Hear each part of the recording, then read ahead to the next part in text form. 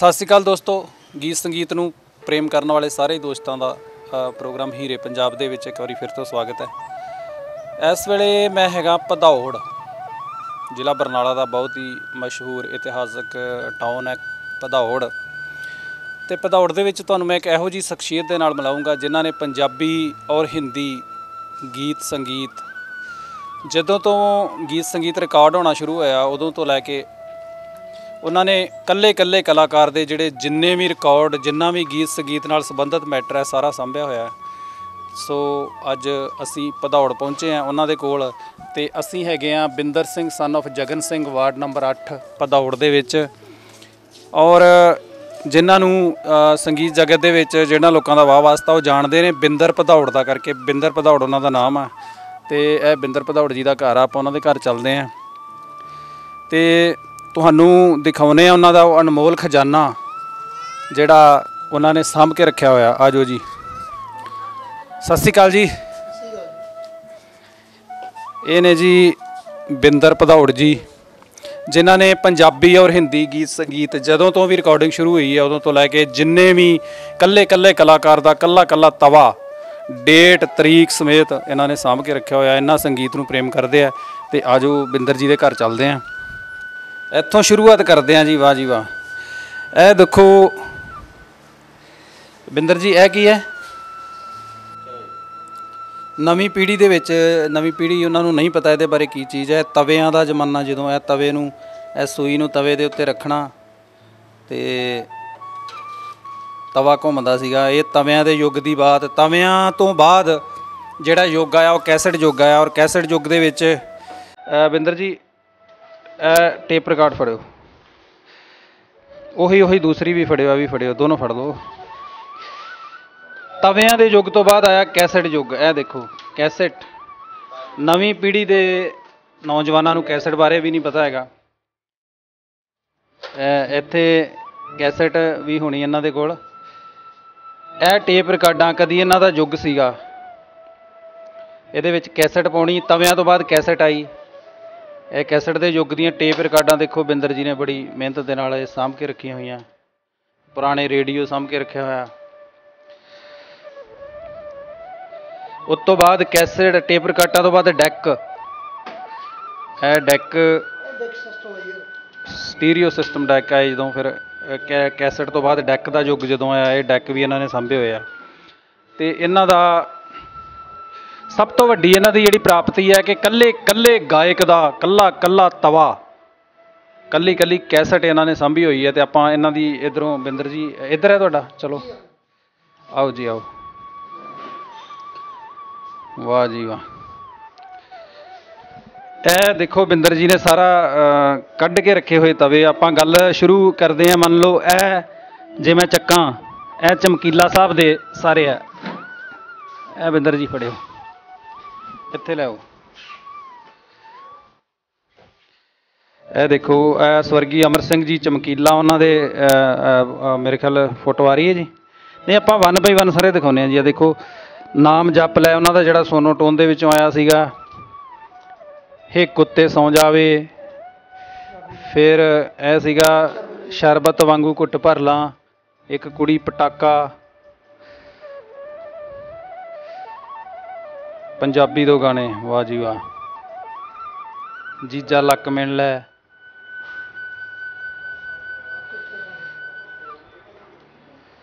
ਭੁੱਲ ਗਈ ਮੈਂ ਕੁੰਡ ਕੱਢਣਾ ਵਾਹ। ਜੀ ਜੀ। ਇਹ ਸਾਰੇ ਚਮਕੀਲਾ ਜੀ ਦੇ A to Z ਪਹਿਲਾ ਗਾਣਾ ਉਹਨਾਂ ਦਾ ਕਿਹੜਾ ਸੀਗਾ? ਉਹ ਸਾਡੇ ਦਰਸ਼ਕਾਂ ਨੂੰ ਦਿਖਾਓ ਜੀ ਰੂਬਰੂ ਕਰੋ। ਚਮ- ਚਮਕੀਲਾ ਜੀ ਦਾ ਸਭ ਤੋਂ ਪਹਿਲਾ ਜਿਹੜਾ ਅਹ, ਇਹਨੂੰ ਕੀ ਕਹਿੰਦੇ? ਈਪੀ ਕਹਿੰਦੇ? ਈਪੀ। ਛੋਟਾ ਤਵਾ ਹੁੰਦਾ ਸੀਗਾ। ਚਮਕੀਲਾ ਜੀ ਦਾ ਸਭ ਤੋਂ ਪਹਿਲਾ ਜਿਹੜਾ ਤਵਾ ਹੈ ਵੀ ਇਹਨਾਂ ਨੇ ਆ ਦੇਖੋ ਤੋਂ ਚਮਕੀਲਾ ਜੀ ਨੇ ਜਿਹੜੀ ਆਪਣੀ ਗਾਇਕੀ ਦੀ ਸ਼ੁਰੂਆਤ ਕੀਤੀ ਸੁਰਿੰਦਰ ਸੋਨੀਆ ਜੀ ਦੇ ਨਾਲ। ਔਰ ਇਹਦਾ ਟਾਈਟਲ ਹੈ ਟਕੂਏ ਤੇ ਟਕੂਆ।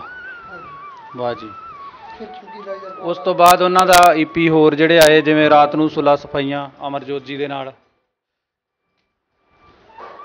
ਫਿਰ ਮਿੱਤਰਾ ਮੈਂ ਖੰਡ ਬਣ ਗਈ।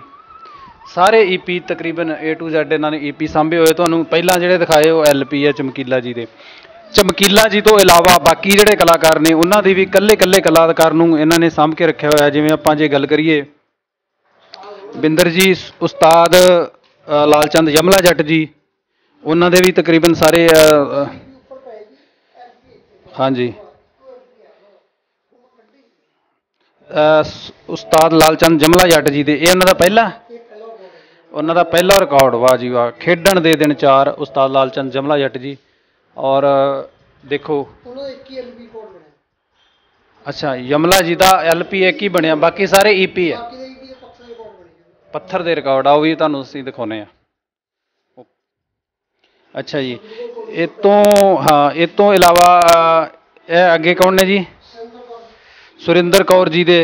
ਸੁਰਿੰਦਰ ਕੌਰ ਜੀ ਦਾ ਪਹਿਲਾ ਗਿਆ ਤਵਾ ਕਿਹੜਾ ਜੀ ਪਹਿਲੇ ਕੋਡ ਦੇ ਉੱਪਰ ਪਹਿਲੇ ਪੱਥਰ ਦੇ ਕੋਡ ਤੇ ਆਏ ਜੀ ਪੱਥਰਾਂ ਦੇ ਰਿਕਾਰਡ ਤੋਂ ਸੁਰਿੰਦਰ ਕੌਰ ਜੀ ਨੇ ਸ਼ੁਰੂਆਤ ਕੀਤੀ ਸੀ ਔਰ ਇਹ ਸੁਰਿੰਦਰ ਕੌਰ ਜੀ ਦੇ ਸਾਰੇ ਐਲਪੀ ਇਹ ਦੇਖੋ ਇਹਨਾਂ ਨੇ ਸਾਂਭ ਕੇ ਰੱਖੇ ਹੋਏ A to Z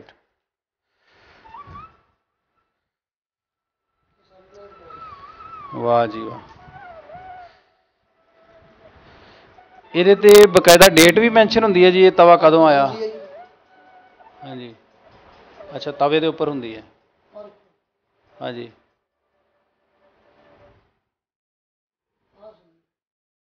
ਕਿਹੜੀ ਸਨ ਹੈ ਜੀ 1970 ਚ ਆਏ। 1970 ਸਨ ਦਾ ਤਵਾ ਸੁਰਿੰਦਰ ਕੌਰ ਜੀ ਦਾ ਦੇਖੋ। ਸਾਡੇ ਸਾਰਿਆਂ ਦੇ ਜਨਮ ਤੋਂ ਪਹਿਲਾਂ ਦੇ ਤਵੇ ਔਰ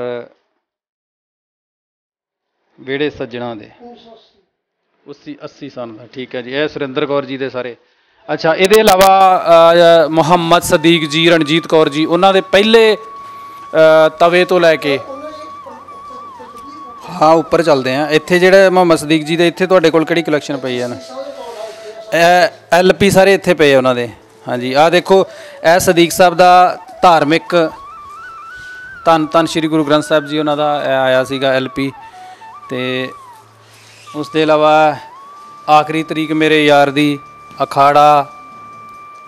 ਇਹ ਸਾਰੇ ਐਲਪੀ ਸਦੀਕ ਸਾਹਿਬ ਦੇ ਜਿਹੜੇ ਨੇ, ਇਹਨਾਂ ਨੇ ਸਾਂਭ ਕੇ ਰੱਖੇ ਹੋਏ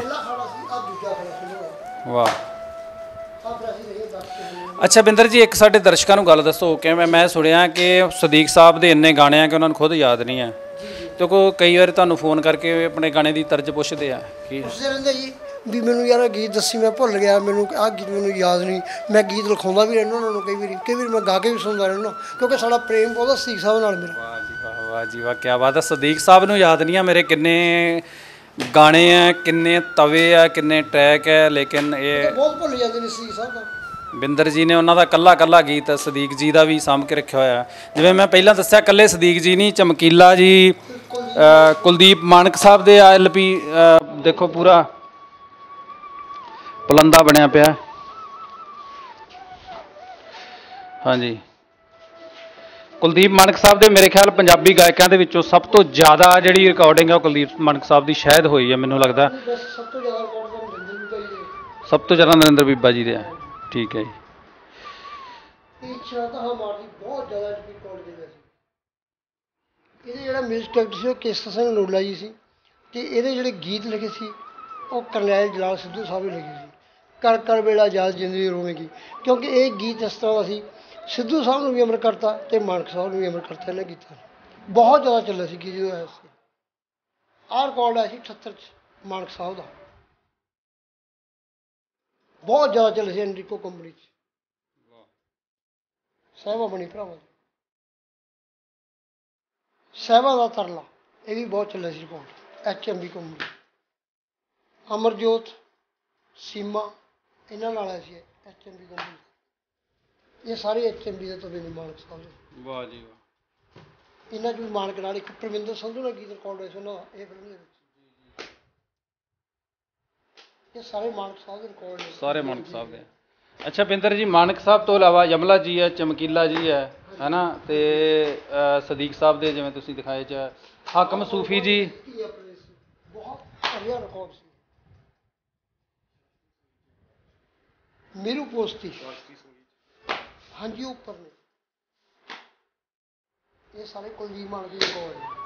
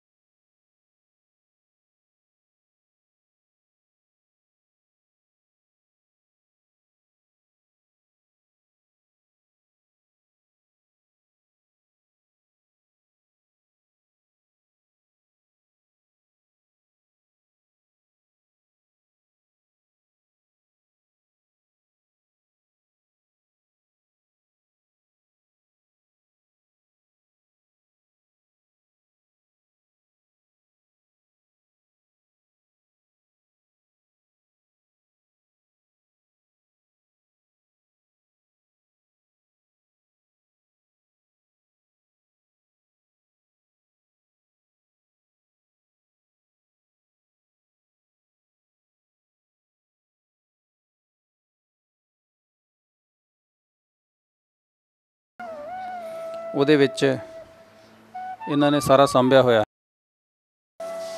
ਇਹ ਜੋ ਤੁਸੀਂ ਦੋ ਰਿਕਾਰਡ ਦੇਖ ਰਹੇ ਹੋ ਜੀ ਗਜ਼ਲਾਂ ਦੇ। ਇਹ ਆਪਣੇ ਇੰਡੀਆ ਦੇ ਬਹੁਤ ਹੀ ਮਹਾਨ ਗਾਇਕ ਨੇ ਹਰੀ ਹਰਨ ਜੀ। ਜੀ। ਬੜੇ ਅੱਛੀ ਗਜ਼ਲ ਗਾਇਕ ਹੋਏ ਨੇ ਵੀ। ਇਹ ਵੀ ਹਰੀ ਹਰਨ ਜੀ ਦਾ ਰਿਕਾਰਡ ਆ। ਜੀ। ਇਹ ਜੋ ਤੁਸੀਂ ਰਿਕਾਰਡ ਦੇਖ ਰਹੇ ਇਹ ਹੈ ਰਿਕਾਰਡ ਅਨਵਰ ਜੀ ਦਾ। ਗਜ਼ਲਾਂ ਦਾ ਰਿਕਾਰਡ ਆ। ਇਹ ਇਸ ਤਰ੍ਹਾਂ ਦੇ ਗਾਇਕ ਨੇ ਜੀ ਜਦੋਂ ਇਹਨਾਂ ਨੂੰ ਸੁਣਦਾ ਬੰਦਾ ਤਾਂ ਉਹਨੂੰ ਪਤਾ ਨਹੀਂ ਲੱਗਦਾ ਵੀ ਰਫੀ ਸਾਹਿਬ ਗਾ ਰਹੇ ਕਿ ਅਨਵਰ ਜੀ ਗਾ ਰਹੇ ਨੇ।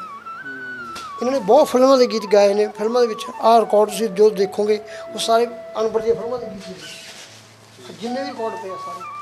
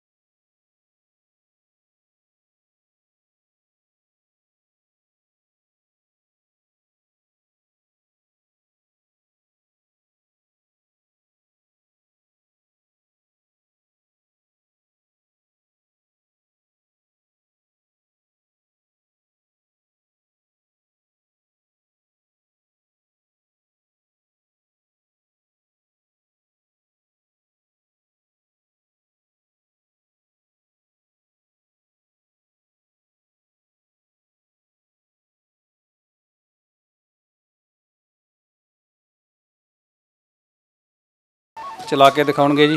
ਜ਼ਿੰਦਗੀ ਮੁੱਕਦੀ ਜਾਂਦੀ ਐ ਜਾਨ ਮੇਰੀ ਸੁੱਕਦੀ ਜਾਂਦੀ ਐ।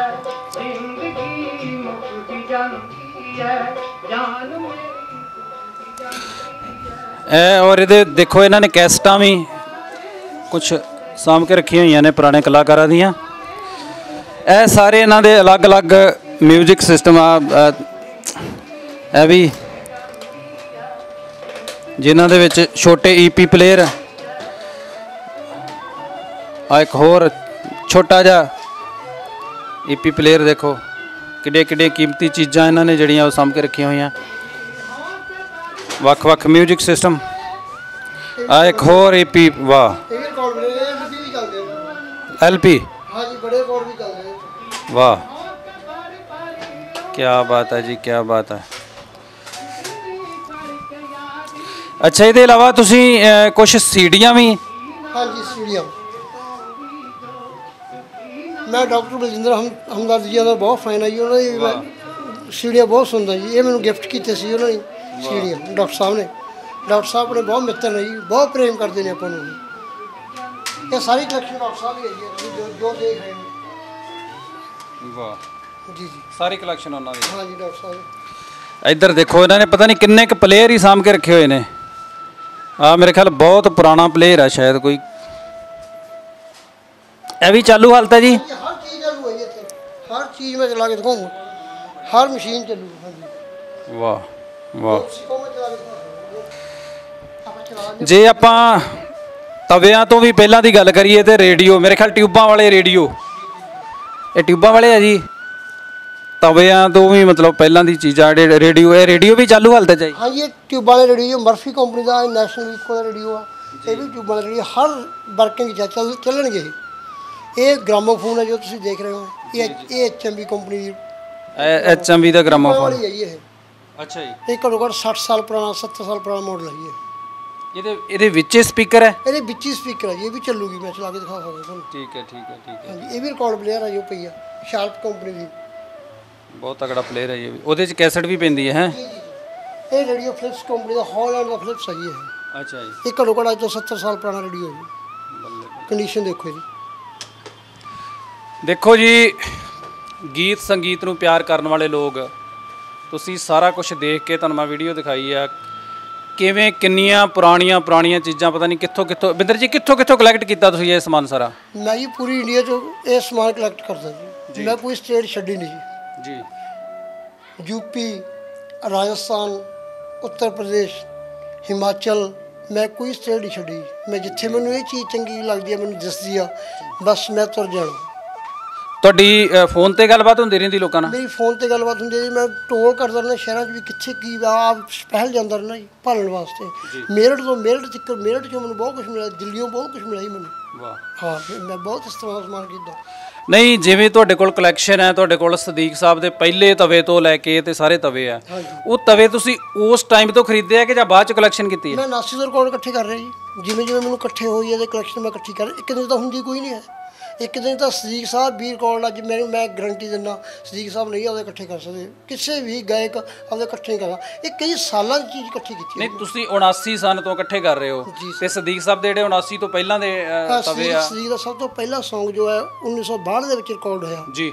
ਉਹਦਾ ਟਾਈਟਲ ਸੀਗਾ ਮੈਂ ਚਿੱਠੀਆਂ ਕਿੱਧਰ ਨੂੰ ਪਾਵਾਂ ਜਾਂਦਾ ਦੱਸਣਾ ਹੈਗਾ ਲਾਸਟ ਦਾ ਰਿਕਾਰਡ ਜੀ। ਜੀ ਫਿਰ ਉਹਦਾ ਜੋ ਡਿਊਟ ਗੀਤ ਰਿਕਾਰਡ ਹੋਇਆ ਤਾਂ ਉਹ 1900 ਹੋਇਆ ਸੀ ਆਪਣਾ 63 ਦੇ ਵਿੱਚ। ਜੀ। ਉਹਨਾਂ ਦੀ ਰਿਕਾਰਡਿੰਗ ਲਿੰਦਰ ਬਾਈ ਨਾਲ ਹੋਈ ਸਭ ਤੋਂ ਪਹਿਲੀ। ਉਹ ਤੁਸੀਂ ਫਿਰ ਕਿੱਥੋਂ ਉਹ ਰਿਕਾਰਡ ਲੱਭੇ ਜਿਹੜੇ 63 ਵਾਲੇ ਉਹ ਮੈਨੂੰ ਕੁਝ ਨਿਊ ਗ੍ਰਾਮੋਫੋਨ ਦਿੱਲੀ ਦਿੱਲੀ ਦੇ ਵਿੱਚ ਆ। ਕੁਝ ਮੈਨੂੰ ਸਪੀਕਰਾਂ ਵਾਲਾ ਰਿਕਾਰਡ ਮਿਲੇ ਕੁਝ ਦੁਕਾਨਾਂ ਤੋਂ। ਮੈਂ ਕੁਝ ਦੁਕਾਨਾਂ ਵੀ ਖਰੀਦੀਆਂ ਪੂਰੀਆਂ। ਜਿਵੇਂ ਮੈਂ ਮੌੜ ਮੰਡੀ ਦੀ ਦੁਕਾਨ ਖਰੀਦੀ ਰਾਮਪੁਰੇ ਮੈਂ ਤਿੰਨ ਦੁਕਾਨਾਂ ਖਰੀਦੀਆਂ ਲੁਧਿਆਣੇ ਦੀ ਦੁਕਾਨਾਂ ਖਰੀਦੀਆਂ। ਪੂਰੀ ਦੀ ਪੂਰੀ ਦੁਕਾਨ ਖਰੀਦ ਲਈ ਮਿਊਜ਼ਿਕ ਦੀ? ਨੌ ਨੌ ਸੌ ਰਿਕਾਰਡ ਮੈਂ ਇਕੱਠੇ ਹੀ ਖਰੀਦਦਾ ਅੱਛਾ ਇਹ ਜਿਹੜੇ ਰਿਕਾਰਡ ਤੁਸੀਂ ਖਰੀਦੇ ਜਿੱਦਾਂ ਅੱਜ ਕੱਲ ਰਿਕਾਰਡ ਇੱਕ ਦੁਰਲੱਭ ਚੀਜ਼ ਹੋ ਗਈ ਹੈ ਤੇ ਤੁਹਾਨੂੰ ਫਿਰ ਕਾਫੀ ਮਹਿੰਗੇ ਨਹੀਂ ਮਿਲੇ ਹੋਣੇ ਬਹੁਤ ਮਹਿੰਗੇ ਮਿਲਦੇ ਅੱਛਾ ਜੀ। ਮਹਿੰਗੇ ਇਸ ਤਰ੍ਹਾਂ ਵੀ ਜਿਹੜੇ ਰਿਕਾਰਡ ਮੈਂ ਕਿਸੇ ਸਮੇਂ 20 ਰੁਪਏ 25 ਰੁਪਏ ਖਰੀਦਦਾ ਸੀ ਅੱਜ ਉਹ ਰਿਕਾਰਡ 2-2000 ਦੇ 3-3000 ਰੁਪਏ ਦੇ ਮਿਲਦੇ ਆ। ਇੱਕ ਸੂਈਆਂ ਵਾਲੀ ਡੱਬੀ ਜਿਹੜੀ ਹੁੰਦੀ ਆ ਜੀ। 2 ਰੁਪਏ ਦੀ ਹੁੰਦੀ ਸੀ ਅੱਜ ਉਹ 1000 ਰੁਪਏ ਦੀ ਡੱਬੀ ਆ ਜੀ ਦੇਖੋ। ਸੂਈਆਂ ਜਿਹੜੀਆਂ ਗ੍ਰਾਮੋਫੋਨ ਦੇ ਵਿੱਚ ਸੂਈਆਂ ਲੱਗਦੀਆਂ ਉਹਦੀ ਡੱਬੀ ਦੀ ਗੱਲ ਕਰ ਜੀ ਜੀ ਜੀ। ਮਤਲਬ ਕਹਿਣ ਤੋਂ ਭਾਵੇਂ ਮੈਂ ਆਪਣੀ ਕੋਸ਼ਿਸ਼ ਆ ਉਹ ਜਾਰੀ ਰੱਖੀ ਵੀ ਅੱਛਾ ਸੰਗੀਤ ਆ ਆਉਣ ਵਾਲੀ ਪੀੜ੍ਹੀ ਵਾਸਤੇ ਸੰਗੀਤ ਸੰਭਾਲ ਕੇ ਰੱਖਣਾ ਚਾਹੀਦਾ। ਜੀ ਜੀ ਮੈਂ ਲੋਕ ਬੱਚਿਆਂ ਨੂੰ ਝੂਠ ਬੋਲਦੇ ਆ ਕੋਈ ਨਸ਼ਾ ਕਰਦੇ ਕੋਈ ਹੋਰ ਕੁਝ ਕਰਦੇ ਆ। ਮੈਂ ਸੰਗੀਤ ਨੂੰ ਇਕੱਠਾ ਕਰਨ ਵਾਸਤੇ ਵੀ ਬੱਚਿਆਂ ਨਾਲ ਝੂਠ ਬੋਲ ਜਾਂਦਾ ਮੈਨੂੰ ਮੈਨੂੰ ਆਹ ਚੀਜ਼ ਮਿਲੀ ਕਿਤੋਂ ਤੁਹਾਨੂੰ ਸੰਗੀਤ ਦਾ ਨਸ਼ਾ। ਸੰਗੀਤ। ਅੱਛਾ ਸੰਗੀਤ ਤੇ ਤੁਸੀਂ ਇਕੱਠਾ ਰਿਕਾਰਡ ਤੇ ਇਕੱਠੇ ਕਰਦੇ ਹੀ ਕਰਦੇ ਹੋ। ਨਾਲ ਹੋਰ ਚੀਜ਼ਾਂ ਜਿਵੇਂ ਆ ਰੇਡੀਓ ਜੀ, ਉਹ ਪੁਰਾਣੇ ਗ੍ਰਾਮੋਫੋਨ ਪਲੇਅਰ ਹੈ ਜਾਂ ਉਹ ਡੈਕ ਆ ਪੁਰਾਣੇ। ਜੀ ਜੀ। ਉਹ ਫਿਰ ਇਸ ਤਰ੍ਹਾਂ ਹੀ ਮੈਂ ਕੈਸਟਾਂ ਵਗੈਰਾ ਵੀ ਸੁਣਦਾ ਜੀ। ਮੈਂ ਰੇਡੀਓ ਦੇ ਖਬਰਾਂ ਸੁਣਨ ਦਾ ਬਹੁਤ ਸ਼ੌਕੀਨ ਰਿਹਾ। ਕਿਉਂਕਿ ਮੈਂ ਜਿਹੜਾ ਰੇਡੀਓ ਆ BBC ਦੀਆਂ ਖਬਰਾਂ 1980 ਤੋਂ ਲੈ ਕੇ ਅੱਜ ਤੱਕ ਵੀ ਖਬਰਾਂ ਸੁਣਦਾ ਮੈਂ। ਜੀ। ਕਿਉਂਕਿ ਉਹਨਾਂ ਦੇ ਪ੍ਰੋਗਰਾਮ ਬਹੁਤ ਤਗੜੇ ਹੁੰਦੇ ਸੀ। ਜਿਵੇਂ ਮੰਨ ਲਓ BBC ਦੀਆਂ ਖਬਰਾਂ BBC ਨੇ ਸਭ ਤੋਂ ਪਹਿਲਾਂ ਜਦੋਂ ਇੰਦਰਾ ਗਾਂਧੀ ਦੀ ਡੈਥ ਹੋਈ ਤਾਂ ਸਭ ਤੋਂ ਪਹਿਲਾਂ BBC ਨੇ BBC ਨੇ ਖਬਰ ਦਿੱਤੀ ਆ। ਹਰਜੀਤ ਗਾਂਧੀ ਦੀ ਖਬਰ BBC ਨੇ ਦਿੱਤੀ ਆ। ਕਿਉਂਕਿ ਮੈਂ BBC ਲੰਡਨ ਬਹੁਤ ਜ਼ਿਆਦਾ ਸੁਣਦਾ ਸੀ। ਵਾਹ ਜੀ ਵਾਹ। ਹਾਂ ਮੈਂ ਰੇਡੀਓ ਵੀ ਬਹੁਤ ਜ਼ਿਆਦਾ ਸੁਣਦਾ ਸੀ। ਰੇਡੀਓ ਹੀ ਮੇਰਾ ਗੁਰੂ ਰੇਡੀਓ ਤੋਂ ਬਹੁਤ ਕੁਝ ਮਿਲਿਆ ਸਿੱਖਣ ਨੂੰ। ਅੱਛਾ ਬਿੰਦਰ ਜੀ ਪੁਰਾਣੇ ਜੋ ਗੀਤ ਸੰਗੀਤ ਹੈ ਉਹ ਤੇ ਤੁਸੀਂ ਬੜੀ ਮਿਹਨਤ ਦੇ ਨਾਲ ਸੰਭਾਲ ਰਹੇ ਹੋ। ਤੁਸੀਂ ਇਹ ਦੱਸੋ ਵੀ ਤੁਹਾਨੂੰ ਇਹ ਕਿੱਦਾਂ ਪਤਾ ਲੱਗਦਾ ਇਹ ਖੋਜ ਤੁਸੀਂ ਕਿੱਥੋਂ ਕਰਦੇ ਹੋ? ਜਿੱਦਾਂ ਵੀ ਤੁਸੀਂ ਕਿਹਾ ਵੀ ਸਦੀਕ ਸਾਹਿਬ ਦਾ ਪਹਿਲਾ ਜਿਹੜਾ ਟਰੈਕ ਆ ਉਹ 62 ਜਾਂ 63 ਚ ਆਇਆ। ਜੀ ਜੀ। ਇਹ ਖੋਜ ਕਿੱਥੋਂ ਕਰਦੇ ਹੋ? ਸਦੀਕ ਸਾਹਿਬ ਨੂੰ ਪੁੱਛਿਆ ਕਿ ਜਾਂ ਤੁਸੀਂ ਮੇਰੇ ਪੰਜਾਬੀ ਪੰਜਾਬੀ ਜਿਹੜੇ ਬੜੇ ਗਾਇਕ ਨੇ ਉਹ ਮੇਰੇ ਸਭ ਸੰਪਰਕ 'ਚ ਰਹਿੰਦੇ ਨੇ। ਅੱਛਾ ਜੀ। ਚਾਹੇ ਉਹ ਸਦੀਕ ਸਾਹਿਬ ਸੀ ਜਾਂ। ਨਰਿੰਦਰ ਵੀ ਬਾਈ ਨੇ। ਉਹਨਾਂ ਦੀ ਵੀ ਡੈਥ ਹੋ ਗਈ ਉਹਨਾਂ ਦੀ ਮੈਂ 31 ਤੋਂ 96 ਨੂੰ ਇੰਟਰਵਿਊ ਕੀਤੀ ਵੀ ਬਾਈ ਦੀ ਅੱਛਾ। ਹਾਂਜੀ ਮੇਰੇ ਕੋਲ ਹੈਗੀ ਆ ਮੈਂ ਤੁਹਾਨੂੰ ਸੁਣਾਉਂਗਾ ਜੀ। ਵੀਡੀਓ ਕੇ ਆਡੀਓ ਆਡੀਓ ਹੈ ਜੀ। ਅੱਛਾ ਆਡੀਓ ਕੀਤੀ। 31 ਦਿਨ ਸ਼ਰਮ ਨੂੰ ਆਡੀਓ ਅੱਧੇ ਘੰਟੇ ਮੇਰੇ ਨਾਲ ਬੀਬਾ ਜੀ ਹੈਗੀ ਆ, ਮੈਂ ਤੁਹਾਨੂੰ ਸੁਣਾ ਸਕਦਾ। ਜੀ ਜੀ ਜੀ। ਤੇ ਕੁਲਦੀਪ ਮਾਨਕੀ ਜੇ ਮੈਂ ਘਰ ਗਿਆ। ਉਹਨਾਂ ਦੀ ਉਹਨਾਂ ਉਹਨਾਂ ਨੂੰ ਪੁੱਛਿਆ ਵੀ ਤੁਹਾਡੇ ਕਿਹੜੇ ਕਿਹੜੇ ਗੀਤ ਕਿਉਂ ਉਹਨਾਂ ਨੂੰ ਕੁਝ ਨਹੀਂ ਯਾਦ ਸੀ ਮੈਂ ਦੱਸਿਆ ਉਹਨਾਂ ਨੂੰ। ਹੂੰ। ਤੇ ਮੈਂ ਮਤਲਬ ਪਤਾ ਸੀ ਵੀ ਉਹਨਾਂ ਦੇ ਪੱਥਰ ਦੇ ਰਿਕਾਰਡ ਇੱਕੋ ਹੀ ਬਣਿਆ। ਮਾਨਕ ਸਾਹਿਬ ਜੀ, ਜੀ। ਦਾ ਸਭ ਤੋਂ ਪਹਿਲਾਂ ਇੱਕ ਰਿਕਾਰਡ ਬਣਿਆ ਜੀਜਾ ਅੱਖਾਂ ਨਾਲ ਮਾਰ ਵੀ ਮੈਂ ਕੱਢ ਦੀ ਕੁੜੀ। ਫਿਰ ਉਸ ਤੋਂ ਬਾਅਦ ਉਹਨੇ ਪਲਾਸਟਿਕ ਦੇ ਬਣਾਈ ਪੀ ਫਿਰ ਪੱਥਰ ਦੇ ਪਲਾਸਟਿਕ ਦੇ ਆ ਗਏ ਉਹਨਾਂ ਫਿਰ ਐਲਪੀ ਆ ਗਏ। ਕੈਸਟ ਕੁਲਦੀਪ ਮਾਨਕੀ ਜੀ ਮੇਰੇ ਕੋਲੇ ਘੱਟੋ ਘੱਟ 130 35 ਕੈਸਟ ਮੈਂ ਤੁਹਾਨੂੰ ਦਿਖਾਉਣਾ ਹੁਣ ਬਿੰਦਰ ਜੀ ਤੁਹਾਡਾ ਜਨਮ ਕਿਹੜੀ ਸੰਨ ਦਾ? ਮੇਰਾ ਜਨਮ 1963 ਦਾ ਜੀ। 63 ਦਾ।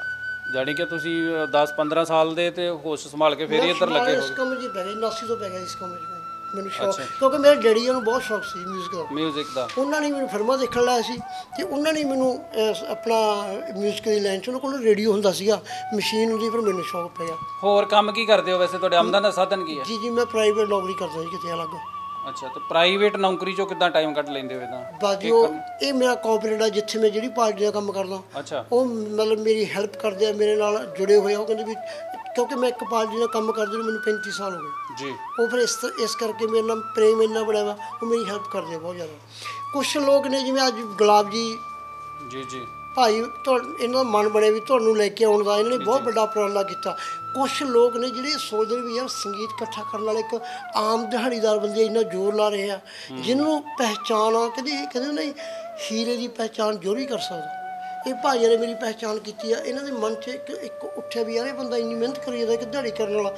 ਵੀ ਆਪਾਂ ਇਹ- ਇਹਨਾਂ ਦੀ ਇੰਟਰਵਿਊ ਕਰਾਈਏ। ਮੈਂ ਤੁਹਾਡੇ ਚੈਨਲ ਦਾ ਵੀ ਬਹੁਤ ਧੰਨਵਾਦੀ ਆ। ਜਿਨੇ ਤੁਸੀਂ ਇਹਨਾਂ ਦੇ ਇੱਕ ਮੈਸੇਜ ਤੇ ਮੇਰੇ ਕੋਲ ਪਹੁੰਚੇ ਬੜੀ ਮਤਲਬ ਕੋਸ਼ਿਸ਼ ਆ ਤੁਹਾਡੀ ਬਹੁਤ ਵੱਡੀ ਇਹ।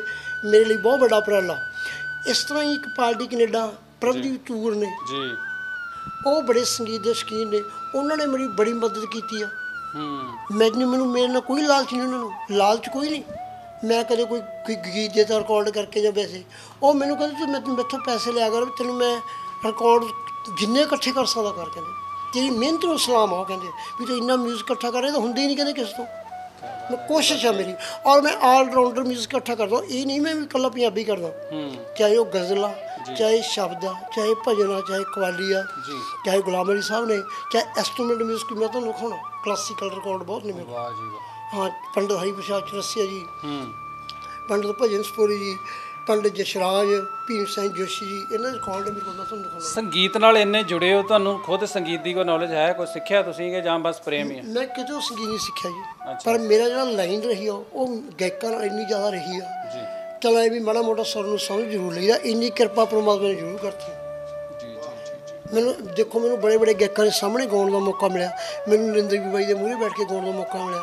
ਮੈਨੂੰ ਕੁਲਦੀਪ ਮਾਨਕੀ ਦੇ ਮੂਹਰੇ ਬੈਠ ਕੇ ਗਾਉਣ ਦਾ ਮੌਕਾ ਮਿਲਿਆ। ਮੈਨੂੰ ਸਦੀਕ ਸਾਹਿਬ ਦੇ ਮੂਹਰੇ ਬੈਠ ਕੇ ਗਾਉਣ ਦਾ ਮੌਕਾ ਮਿਲਿਆ। ਉਹਨਾਂ ਨੂੰ ਵੀ ਸੁਣਦਾ ਰਿਹਾ ਰਮਲਾ ਸਾਹਿਬ ਨੂੰ। ਤੇ ਆਪਣਾ ਰਣਜੀਤ ਕੌਰ ਦੀਦੀ ਨਾਲ ਤਾਂ ਮੈਂ ਗਾਈਏ ਬੈਠ ਕੇ। ਮੈਨੂੰ ਇਹ ਦੇਖੋ ਕਿ ਇਦੋਂ ਵੱਡੀ ਹੋਰ ਕੀ ਗੱਲ ਹੋ ਸਕਦੀ ਆ ਕਿ ਗਵਈਆ ਨਾ ਹੋਣ ਦੇ ਬਾਵਜੂਦ। ਅੱਛਾ, ਪੰਜਾਬੀ ਗਾਇਕ ਸਦੀਕ ਸਾਹਿਬ ਜਾਂ ਰਮਲਾ ਜੀ ਇਹ ਤੁਹਾਡੇ ਮੇਰੇ ਖਿਆਲ ਬਹੁਤ ਫੇਵਰੇਟ ਹੈ ਕਿ ਸਾਰੇ ਨਹੀਂ ਮੈਂ ਜੋ ਅੱਛਾ ਗਾਉਂਦੇ ਨੇ ਉਹ ਮੇਰੇ ਸਾਰੇ ਫੇਵਰੇਟ ਆ। ਜੀ। ਮੈਂ ਪੰਜਾਬੀ ਗੀਤ ਜੋ ਸਦੀਕ ਸਾਹਿਬ ਦੇ ਗੀਤ ਮੈਂ ਬਹੁਤ ਜ਼ਿਆਦਾ ਗਾਉਂਦਾ ਰਹਿੰਦਾ ਵੈਸੇ ਗੁਣਗੁਣਾਉਂਦਾ ਰਹਿੰਦਾ। ਤੇ ਮੇਰੀ ਕੋਸ਼ਿਸ਼ ਹੁੰਦੀ ਹੈ ਜਾਂ ਸਾਡੀ ਭਦੌੜ ਲੋਕ ਸੀ ਮੰਡਲੀ ਇੱਥੇ। ਉਹਨਾਂ ਦੀ ਕਿਸ਼ਤਾਂ ਵੀ ਤੁਹਾਨੂੰ ਦਿਖਾਉਂਗਾ ਮੈਂ ਜੀ ਕਿਉਂਕਿ ਭਦੌੜ ਨੇ ਬਹੁਤ ਹੀ ਗਵਈਏ ਪੈਦਾ ਕੀਤੇ। ਕੁਲਦੀਪ ਮਾਨ ਜੀ ਭਦੌੜ ਇੱਥੇ ਰਹਿੰਦੇ ਰਹੇ ਨੇ। ਜੀ। ਇੱਥੇ ਇੱਕ ਦਰਬਾਰ ਸਿੰਘ ਮਸਤਾਨਾ ਹੁੰਦਾ ਸੀਗਾ।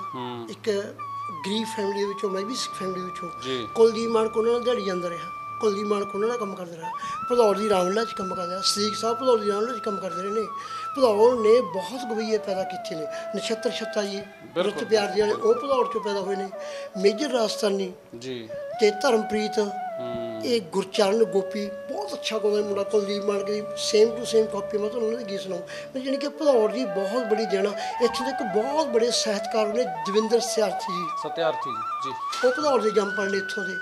ਉਹ ਸਾਡਾ ਭਦੌੜ ਇੰਨਾ ਖੋਜੀ ਆ ਜੀ ਉਹਨਾਂ ਦੇ ਘਰ ਵਾਲੀ ਕਹਿੰਦੀ ਉਹਨਾਂ ਨੂੰ ਕਹਿੰਦੀ ਵੀ ਤੁਸੀਂ ਸਬਜ਼ੀ ਲਿਆਓ ਸਬਜ਼ੀ ਲੈਣ ਗਏ ਚੀਨ ਚ ਚਲੇ ਗਏ ਚੀਨ ਦੇ ਵਿੱਚ ਖੋਜ ਕਰਦੇ ਕਰਦੇ। ਇੰਨਾ ਖੋਜੀ ਆ ਭਦੌੜ ਨੇ ਭਦੌੜ ਨੂੰ ਬਖਸ਼ਿਸ਼ ਦੋਸਤੋ ਜਿਵੇਂ ਕਿ ਦੱਸਿਆ ਅਸੀਂ ਹੈਗੇ ਹਾਂ ਇਸ ਵੇਲੇ ਭਦੌੜ ਤੇ ਬਿੰਦਰ ਭਦੌੜ ਜੀ ਜਿਹੜੇ ਕਿ ਪੰਜਾਬੀ ਗੀਤ ਸੰਗੀਤ ਨੂੰ ਬਹੁਤ ਪਿਆਰ ਕਰਦੇ ਨੇ ਬਹੁਤ ਸਾਰੀ ਕਲੈਕਸ਼ਨ ਉਹਨਾਂ ਦੀ ਅਸੀਂ ਤੁਹਾਨੂੰ ਦਿਖਾਈ। ਔਰ ਬਿੰਦਰ ਭਦੌੜ ਜੀ ਨੂੰ ਅੱਗੇ ਲੈ ਕੇ ਆਉਣ ਦੇ ਵਾਸਤੇ ਇੱਕ ਹੋਰ ਸੰਗੀਤ ਪ੍ਰੇਮੀ ਸਰਦਾਰ ਗੁਲਾਬ ਸਿੰਘ ਜੀ ਯੂਕੇ ਜਿਹੜੇ ਕਿ ਇੰਗਲੈਂਡ ਤੋਂ ਨੇ। ਤੇ ਇਹ ਭਾਜੀ ਵੀ ਸੰਗੀਤ ਨੂੰ ਬਹੁਤ ਪਿਆਰ ਕਰਦੇ ਨੇ। ਅ, ਭਾਜੀ ਦੋ ਸ਼ਬਦ ਸਾਡੇ ਦਰਸ਼ਕਾਂ ਨੂੰ ਜ਼ਰੂਰ ਕਹੋ ਜੀ। ਮੈਂ ਸਾਰੇ ਦੇਸ਼ ਵਿਦੇਸ਼ ਜਿੰਨੇ ਵੀ ਸੰਗੀਤ ਪ੍ਰੇਮੀ ਆ, ਉਹਨਾਂ ਨੂੰ ਇਹ ਗੱਲ ਦੱਸਣੀ ਚਾਹੁੰਦਾ ਕਿ ਦੁਨੀਆ ਜਿਹਦਾ ਕਹਿੰਦੇ ਪਰੇ ਤੋਂ ਪਰੇ ਆ ਨਾ, ਪਰ ਇਹ ਬਿੰਦਰ ਸਾਹਿਬ ਜੀ ਉਹ ਤੋਂ ਵੀ ਪਰੇ ਆ ਜੀ। ਹਾਂਜੀ, ਜਿੰਨਾ ਇੰਨੇ ਬੰਦੇ ਨੇ ਇਹ ਮੈਟਰ ਸਾਂਭਿਆ ਹੈ ਨਾ, ਇਹ ਬੰਦੇ ਦੀ ਲਾਈਫ ਲੱਗ ਜਾਂਦੀ ਆ। ਤੋ ਮੈਂ ਹਰੇਕ ਨੂੰ ਇਹੋ ਹੀ ਦਰਖਾਸਤ ਕਰਦਾ ਹਾਂ ਜਿੰਨੇ ਵੀ ਭੈਣ ਭਰਾ ਬਾਹਰ ਵਸਦੇ ਆ, ਤੋ ਐਸੋ ਜੇ ਬੰਦੇ ਦੀ ਹੈ ਨਾ ਹਰੇਕ ਬੰਦਾ ਸਪੋਰਟ ਕਰੋ, ਕੋਈ ਇਹ ਆਪਣੇ ਲੈ ਕੇ ਕਿਸੇ ਦਿਨ ਇਹ, ਇਹਦਾ ਜਿਹੜਾ ਉਹ ਹੈਗਾ ਵਾ ਮਿਊਜ਼ੀਅਮ ਬਣ ਜਾਊਗਾ ਜੀ। ਅੱਜ ਨਹੀਂ ਕੱਲ ਨੂੰ ਭਦੌੜ ਦੇ ਵਿੱਚ ਕੋਈ ਮਿਊਜ਼ੀਅਮ ਬਣੂਗਾ ਤਾਂ ਉਹਦੇ ਵਿੱਚ ਇਹ ਲੋਕੀ ਟਿਕਟ ਲੈ ਕੇ ਆਇਆ ਕਰਨਗੇ, ਦੇਖਿਆ ਕਰਨਗੇ ਵੀ ਇਹ ਕੋ ਕੀ ਰਿਕਾਰਡ ਪਿਆ ਵਾ? ਮਤਲਬ 1580 ਦੇ ਰਿਕਾਰਡ ਪਏ ਆ। ਇਹ ਬੰਦੇ ਨੂੰ ਮੈਂ ਸ਼ਾਬਾਸ਼ ਦਿੰਦਾ ਇਹ ਬੰਦੇ ਜੋ ਮੈਨੂੰ ਡੇਲੀ ਫੋਨ ਕਰਦਾ ਵਾ ਕਿ ਘੰਟਾ ਪਹਿਲਾਂ ਗੱਲਬਾਤ ਹੁੰਦੀ ਆ, ਮੈਨੂੰ ਸਿੱਖਣ ਨੂੰ ਬਹੁਤ ਕੁਝ ਮਿਲਦਾ ਵਾ। ਹਾਂਜੀ? ਤੇ ਮੈਂ ਇਹਦਾ ਬਹੁਤ ਸ਼ੁਕਰੀਆ ਅਦਾ ਕਰਦਾ ਵਾਂ, ਇਹ ਬੰਦੇ ਨੂੰ ਸੱਚੀ ਲੱਗਨ ਆ ਤੇ ਬਾਕੀ ਮੈਂ ਹੀਰੇ ਪੰਜਾਬ ਦੇ ਪ੍ਰੋਗਰਾਮ ਆਪਣੇ ਹੈਪੀ ਰੰਦੇਵ ਦਿਲਬਾਗ ਹੁੰਦਲ ਅ, ਪੰਨੂ ਜੀ। ਇਹਨਾਂ ਦਾ ਬਹੁਤ ਸ਼ੁਕਰੀਆ ਅਦਾ ਕਰਦਾ ਇਹਨਾਂ ਨੇ ਬੜਾ ਕੀਮਤੀ ਸਮਾਂ ਕੱਢ ਕੇ ਤੇ ਇੱਕ ਫੋਨ ਦੇ ਉੱਤੇ ਜਿਹੜੀ ਮੇਰੀ ਅੱਜ ਸੁਣੀ ਆ ਮੈਂ ਇਹਨਾਂ ਦਾ ਦਿਲੋਂ ਧੰਨਵਾਦ ਕਰਦਾ ਵਾਹਿਗੁਰੂ ਜੀ ਕਾ ਖਾਲਸਾ ਵਾਹਿਗੁਰੂ ਜੀ ਕੀ ਫਤਿਹ। ਸੋ ਦੋਸਤੋ ਇਹ ਤੁਹਾਨੂੰ ਅਸੀਂ ਛੋਟੀ ਜੀ ਝਲਕ ਜਿਹੜੀ ਹੈ ਉਹ ਬਿੰਦਰ ਭਦੌੜ ਜੀ ਦੇ ਮਿਊਜ਼ੀਅਮ ਦੀ ਦਿਖਾਈ ਹੈ ਜਿਹੜੇ ਪੰਜਾਬੀ ਸੰਗੀਤ ਨੂੰ ਇੰਨਾ ਪਿਆਰ ਕਰਦੇ ਨੇ ਜਿਨ੍ਹਾਂ ਨੇ ਆਪਣਾ ਸਾਰਾ ਕੁਝ ਦਾਅ ਤੇ ਲਾ ਕੇ ਜਿੰਨੀ ਵੀ ਉਹਨਾਂ ਦੀ ਕਮਾਈ ਆ, ਉਹ ਸਾਰੀ ਲਾ ਕੇ ਮਹਿੰਗੇ ਤੋਂ ਮਹਿੰਗੇ ਰਿਕਾਰਡ ਖਰੀਦ ਕੇ ਉਹ ਕਲੈਕਸ਼ਨ ਇਕੱਠੀ ਕੀਤੀ ਹੋਈ ਆ, ਕਿਉਂਕਿ ਆਉਣ ਵਾਲੇ ਟਾਈਮ ਦੇ ਵਿੱਚ ਦੇਖੋ, ਅੱਜ ਦੀ ਤਰੀਕ 'ਚ ਜਿਹੜਾ ਮਿਊਜ਼ਿਕ ਆ ਆਨਲਾਈਨ ਹੋ ਗਿਆ। ਨਵੀਂ ਪੀੜ੍ਹੀ ਨੂੰ ਜਿਹੜੀ ਪੈਦਾ ਹੋ ਰਹੀ ਹੈ ਉਹਨੂੰ ਇਹ ਨਹੀਂ ਪਤਾ ਹੋਣਾ ਪਹਿਲਾਂ ਗੀਤ ਸੰਗੀਤ ਕਿੱਦਾਂ ਚੱਲਦਾ ਸੀਗਾ, ਇਹ ਵੱਡੇ ਵੱਡੇ ਤਵੇ ਸੀ ਇਹ ਕਿੱਦਾਂ ਚੱਲਦੇ ਸੀਗੇ ਕੈਸਟ ਕੀ ਹੁੰਦੀ ਸੀਗੀ ਰੇਡੀਓ ਕੀ ਹੁੰਦਾ ਸੀ, ਜਿਵੇਂ ਆ ਵੱਡੇ ਵੱਡੇ ਰੇਡੀਓ ਤੁਸੀਂ ਦੇਖ ਰਹੇ ਹੋ ਇਹਨਾਂ ਨੇ ਇਹ ਚੀਜ਼ਾਂ ਸਾਂਭੀਆਂ ਹੋਈਆਂ। ਔਰ ਬਿੰਦਰ ਜੀ, ਤੁਹਾਡੀ ਇਸ ਮਿਹਨਤ ਦਾ ਅਸੀਂ ਆਸ ਕਰਦੇ ਹਾਂ ਕਿ ਬਹੁਤ ਜ਼ਿਆਦਾ ਮੁੱਲ ਜਿਹੜਾ ਆਉਣ ਵਾਲੇ ਟਾਈਮ ਦੇ ਵਿੱਚ ਉਹ ਪੈਣਾ ਜੀ। ਸੋ ਤੁਸੀਂ ਸਾਡੇ ਪ੍ਰੋਗਰਾਮ ਹੀਰੇ ਪੰਜਾਬ ਦੇ ਵਿੱਚ ਆਏ ਤੇ ਸਿੱਧੂ ਆਪਣੇ ਗੁਲਾਬ ਸਿੰਘ ਜੀ, ਤੁਸੀਂ ਵੀ ਸਾਡੇ ਪ੍ਰੋਗਰਾਮ ਦੇ ਵਿੱਚ ਬਿੰਦਰ ਜੀ ਨੂੰ ਨਾਲ ਮਿਲਾ ਕੇ ਆਪਣਾ ਕੀਮਤੀ ਟਾਈਮ ਕੱਢ ਕੇ ਤੁਸੀਂ ਸਾਰੇ ਆਏ। ਤੁਹਾਡਾ ਬਹੁਤ ਬਹੁਤ ਧੰਨਵਾਦ ਜੀ।